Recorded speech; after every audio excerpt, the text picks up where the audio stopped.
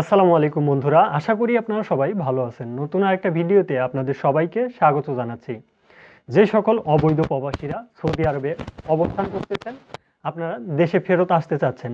কোন প্রসেসটা মেনটেন করলে পুলিশের কাছে ধরা দেওয়া ছাড়াই আপনারা বৈধভাবে দেশে ফেরত আসতে পারবেন, এই বিষয়টা জানানোর চেষ্টা করব। সৌদি আরবে অনেক প্রবাসী রয়েছেন, আপনারা অবৈধভাবে জীবনযাপন পার করতেছেন। অনেকে অনেক টাকা ইনকাম করে ফেলেছেন, এখন চাচ্ছেন দেশে ফেরত আসার জন্য।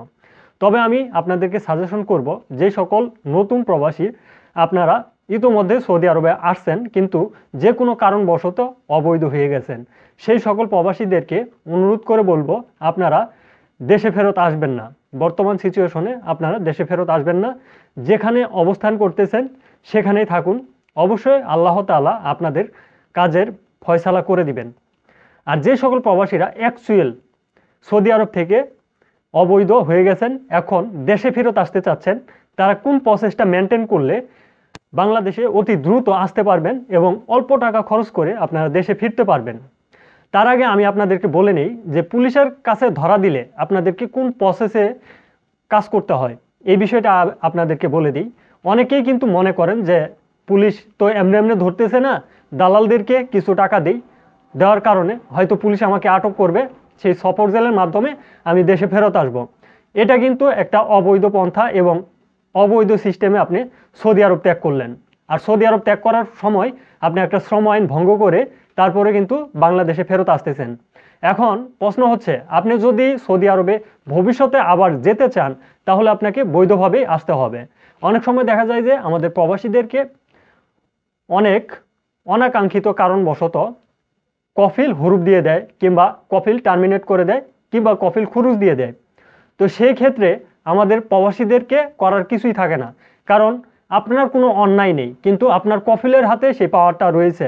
হয়তো একটা, দুইটা কথা আপনার সাথে কাটাকাটি হয়, সেই কথার জেরেতেই কফিল কিন্তু আপনাদেরকে সৌদি আরব থেকে হুরুপ দেয় কিংবা টার্মিনেট করে কিংবা আপনাকে খুরুজ দিয়ে দেয় মানে আপনাকে ফাইনাল এক্সিট মেরে দেয়। তখন কিন্তু আমাদের প্রবাসীদের কোনো কিছুই করা থাকে না। তখন আমরা সিদ্ধান্ত নেই, অবৈধভাবে যত দিন ইচ্ছা কাজ করা যায়। আর এছাড়া দ্বিতীয় কোনো সিস্টেম কিন্তু আমাদের নেই। যেহেতু আমাদের হাতে ওই সিস্টেমটা নেই। কপিলের আপসের অ্যাকাউন্ট থেকেই আমাদের প্রবাসীদের টার্মিনেট বলেন এবং খুরুজ বলেন, সব কিন্তু করে দিতে পারে।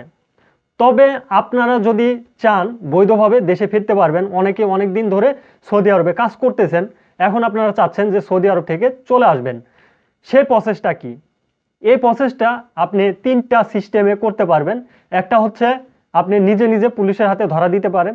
দুই নাম্বার সিস্টেম হচ্ছে জাওজাতের মাধ্যমে ফাইনাল এক্সিট লাগিয়ে দেশে ফিরতে পারেন।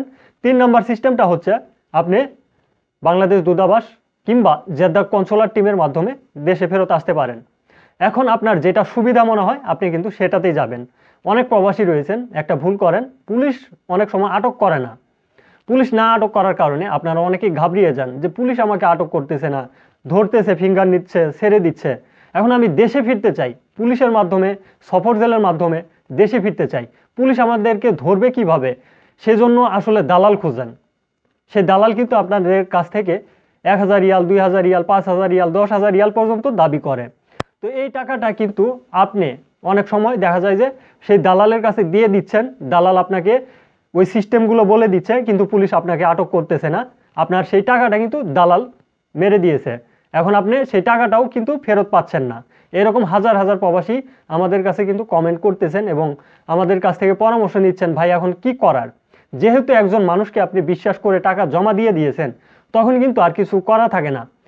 আমি প্রত্যেকটা বিষয় আপনাদেরকে বলি যে, টাকা যখন আপনি একজনের পকেট থেকে আরেকজনের পকেটে দিবেন তখন কিন্তু সেই টাকাটা আপনার থেকে তার হয়ে যায়। তখন কিন্তু সে চাইলে আপনাকে ফেরত দিবে, সে চাইবে আপনাকে ফেরত দিবে না। আর আপনি যেহেতু অবৈধ প্রবাসী, সৌদি আরবে কোনো কিছু করতেও পাবেন না তার বিরুদ্ধে। কারণ আপনি একজন অবৈধ প্রবাসী। আপনি তার বিরুদ্ধে অ্যাকশন নিতে গেলে আপনার বিরুদ্ধেই কিন্তু অ্যাকশন চলে আসবে। কারণ আপনি আনলিগেল প্রবাসী, তখন আপনি দেশেও ফিরতে পারবেন না। যে পর্যন্ত সেই মামলাটা শেষ না হবে। তাই অযথা কোনো দালালকে টাকা দিবেন না সৌদি আরব থেকে দেশে ফেরার জন্য। এটা আপনাদের কাছে আমার একটা অনুরোধ থাকল, কারণ আপনি ক্ষতিগ্রস্ত হবেন। আর বৈধ পথে আপনি কীভাবে সৌদি আরব ত্যাগ করবেন?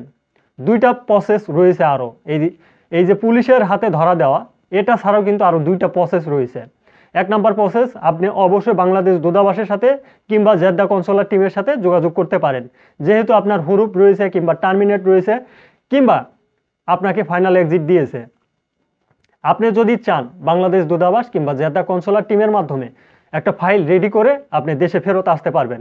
এটা হচ্ছে একেবারেই একটা লিগেল প্রসেস আর যদি আপনি ভালো আরবি জানেন, ভালোভাবে কথা বলতে পারেন, তাহলে আমার সাজেশন থাকল, আপনার যে কফিলের এরিয়া রয়েছে, যদি আপনি দাম্মামের প্রবাসী হয়ে থাকেন, দাম্মাম, জেদ্দার প্রবাসী হয়ে থাকলে জেদ্দা এবং আপনি রিয়াদের প্রবাসী হয়ে থাকলে রিয়াদের জাওজাত অফিসে যোগাযোগ করবেন। যোগাযোগ করে তাদেরকে বিস্তারিত তথ্যগুলো বলবেন, বলে আপনি আপনার একটা ফাইনাল এক্সিটের জন্য ইস্যু করে আসবেন। সেই ইস্যুটা যখন কমপ্লিট হয়ে যাবে, যখন আপনার ফাইনাল এক্সিট লাগবে জাওজাত কিন্তু আপনাকে বলে দিবে যে আপনার বিমান টিকিট কিনতে হবে। মানে আপনার এই বিষয়গুলো ফলো আপে রাখবে এবং আপনাকে একটা টিকিট ধরিয়ে দিবে জাওজাতের ভিতরে যে আপনি অ্যাপয়েন্টমেন্ট নিয়ে প্রবেশ করবেন, সেটার একটা টিকিট কিন্তু আপনাকে ধরিয়ে দিবে, একটা ডেট দিয়ে দিবে সেই ডেট অনুযায়ী যদি আপনি তাদের সাথে যোগাযোগ করেন, অবশ্যই অবশ্যই কিন্তু আপনার ফাইনাল এক্সিটটা হয়ে যাবে। ফাইনাল এক্সিটের পেপার পাওয়ার পরে আপনি বিমান টিকিট কিনে নিজে নিজেই কিন্তু সামান সহ মানে যে আপনি সৌদি আরব থেকে বৈধভাবে যেভাবে বাংলাদেশে আসতেন, সেইভাবেই ওই সিস্টেমে আপনি সৌদি আরব থেকে আসতে পারবেন। বিমান টিকিট কিনবেন, বিমানের টিকিটে যত কিলো মালের প্রয়োজন রয়েছে, আপনি অত কিলো মাল কিন্তু নিয়ে আসতে পারবেন বাংলাদেশে। বাংলাদেশ দূতাবাসের মাধ্যমে যদি আপনি ফাইনাল এক্সিট নেন, এই সিস্টেমটাই একই সিস্টেম কিন্তু ওইটা বাংলাদেশ দূতাবাস করবে আর এটা কিন্তু জাওজাত নিজেই করবে। তো অবশ্যই সিস্টেম দুইটা দুই রকম হলেও বাংলাদেশি প্রবাসীদের জন্য কিন্তু সিস্টেম একই রকম।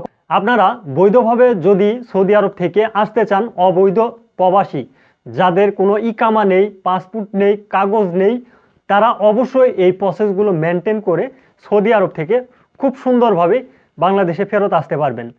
এটার জন্য কোনো দালাল ধরার প্রয়োজন নেই, দালালকে টাকা দেওয়ার প্রয়োজন নেই এবং কোনো মাধ্যম ধরার প্রয়োজন নেই। আমি মনে করি যে এই বিষয়টার জন্য কোনো ধরনের হেল্পের কারও প্রয়োজন নেই। আপনি যদি নিজে নিজেই এই সিস্টেমটা ফলো করেন, তাহলে আপনি নিজেই কিন্তু এই সিস্টেমে বাংলাদেশে চলে আসতে পারবেন।